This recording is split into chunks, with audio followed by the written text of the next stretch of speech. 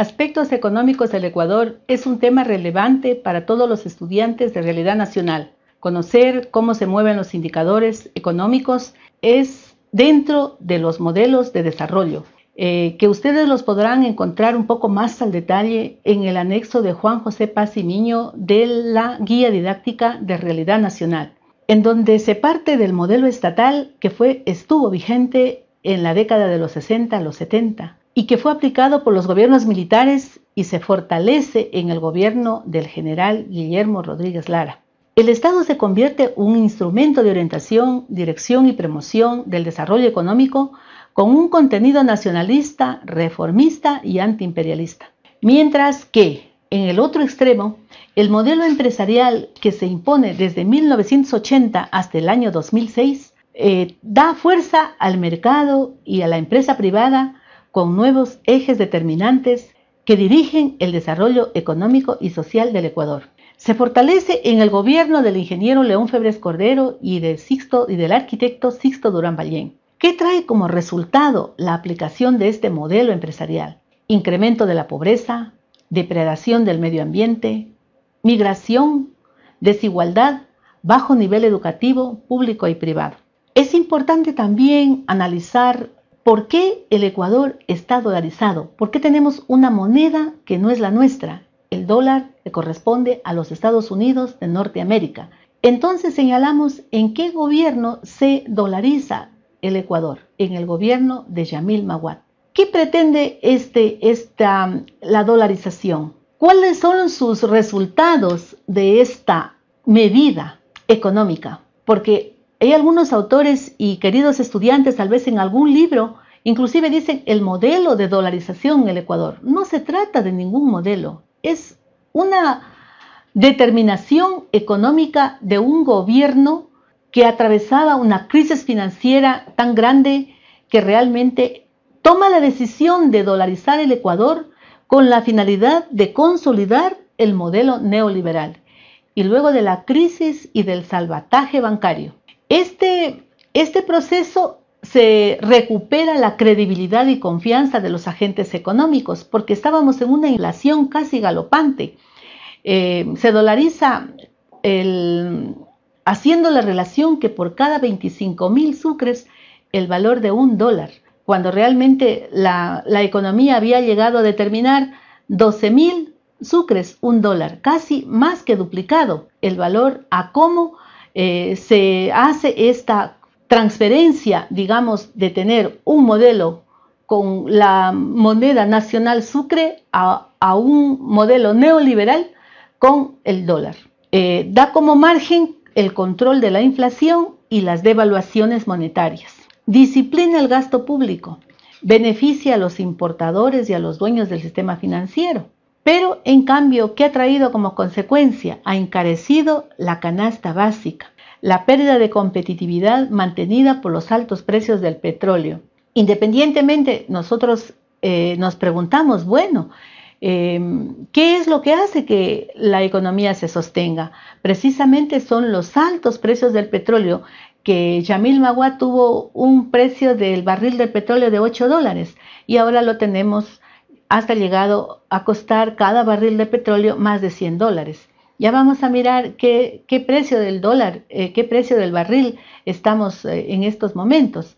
Entonces, es también mirar el contexto tanto interno como em, la riqueza petrolera que tiene el país y las demandas externas de este, de este em, eh, digamos así, de este requerimiento de los países compradores de tanto de petróleo crudo como Ecuador comprando los derivados de petróleo, porque nosotros vendemos petróleo crudo y compramos derivados de petróleo. Bien, ¿qué entendemos entonces por modelo, eh, por modelo neoliberal? Que realmente tiene una política social débil y fragmentada, con servicios sociales de baja calidad, baja cobertura, financiamiento asistencialista, clientelar y mercantilizada.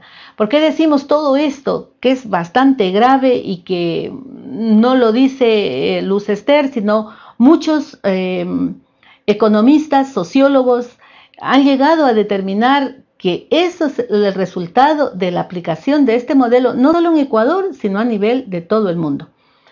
Bien, ¿cuál es el modelo estatal vigente? Yo he puesto la fuente de donde he sacado, porque muchas de estas aseveraciones, quizás muchos de estos criterios, muchos de estos eh, conceptos, digamos así, eh, puede que tenga, tengamos algunos que estén de acuerdo y otros en completo desacuerdo pero hemos buscado las fuentes con la finalidad de que ustedes también conozcan quiénes son los autores de estos conceptos.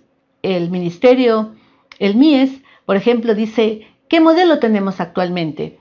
Política social integral e integradora para el buen vivir, con enfoque de derechos y clara prioridad fiscal, macroeconómica, que se plantea la universalidad y gratuidad de los servicios sociales clave, entendidos como un bien público y no como mercancía, que apuesta activamente por la equidad, apoyando la construcción de ciudadanía y la cohesión social.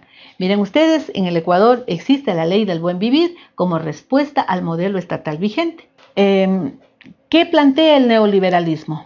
El neoliberalismo plantea que la economía no debe estar regulada por el Estado, pues el mercado y la competencia establecen un orden natural eficiente otro pedido que hace el neoliberalismo, que el Estado debe limitarse al marco jurídico, seguridad, defensa y dotación de infraestructura básica y una flexibilización laboral. Que también estudiamos nosotros como respuesta a todo este eh, crecimiento económico. Eh, para medirlo, ¿no es cierto?, tenemos indicadores macroeconómicos como el Producto Interno Bruto. El Producto Interno Bruto es el valor monetario de los bienes y servicios finales producidos por una economía en un periodo determinado. Eh, también tenemos otra definición de otro autor. El PIB es uno de los indicadores que nos proporciona información sobre la composición de la riqueza nacional y el peso que tiene cada sector económico.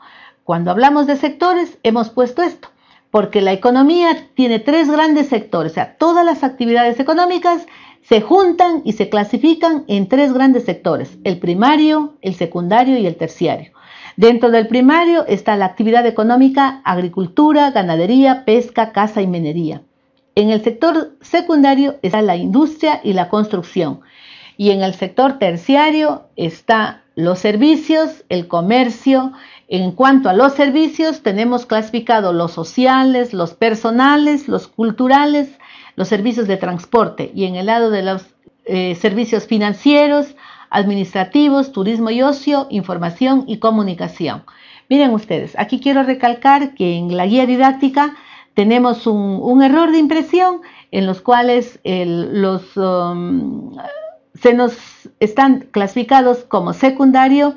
Tenemos que recalcar que debemos guiarnos por este cuadro que especifica bien las actividades económicas dentro de cada sector y no como está este mismo cuadro dentro de la guía didáctica, porque hay una mezcla entre los que están dentro del sector primario y dentro de los que están en el sector secundario. Entonces, ojo, ojo a esta lámina que tiene muy bien clasificado cuáles actividades económicas están insertadas en cada sector. Queremos también demostrar eh, por qué decimos que el Ecuador hasta el 2012 eh, tiene una estabilidad económica y no estudiada por, por, por um, quizás por, um, con información del Banco Central, pero desde la CEPAL. Hemos puesto la fuente en cada um, cuadro para que ustedes puedan también eh, entrar y mirar que existe cantidad de información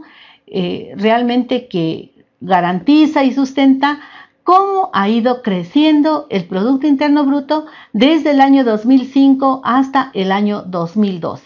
No vamos a leer cifras, sino que las barritas nos indican cómo realmente estamos para arriba en el crecimiento del PIB nominal. Me quiero referir fundamentalmente a diferenciar qué es crecimiento y qué es desarrollo, porque algunas eh, literatura o en algunos libros eh, nos lleva a confundirnos y pensamos que estos dos términos son iguales, cuando realmente son completamente diferentes. El crecimiento económico se puede medir en términos nominales o reales, descontando los efectos de la inflación.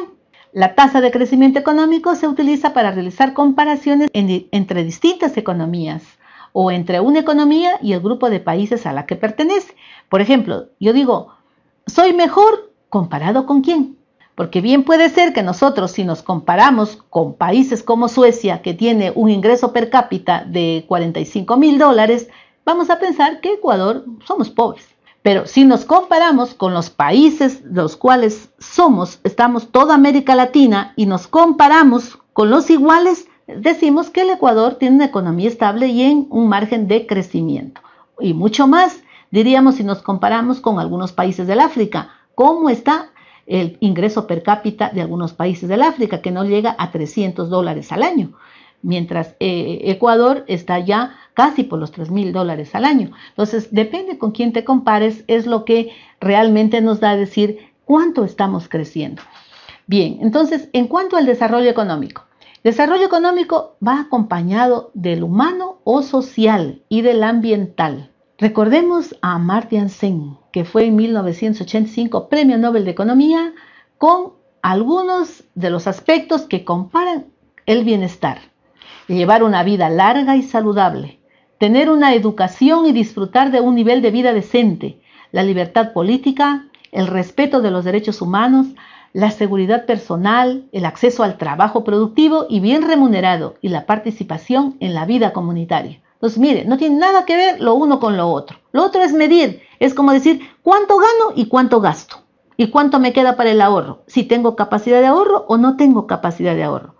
Cuando la familia ahorra, tiene una direccionalidad, dice ahorro para tener mi casa o ahorro para comprarme un vehículo o ahorro para mejorar ciertos ciertas em, em, niveles educativos individuales o de la familia o de los hijos por algún motivo se ahorra. Entonces, es, en cambio acá, es el entorno completo de mirar el ser humano eh, en lo social, en lo económico, en lo ambiental, en la seguridad ciudadana, en su participación activa dentro de la sociedad. Miren, asimismo nosotros eh, tenemos como la tasa de crecimiento anual de la economía ecuatoriana también está en subida.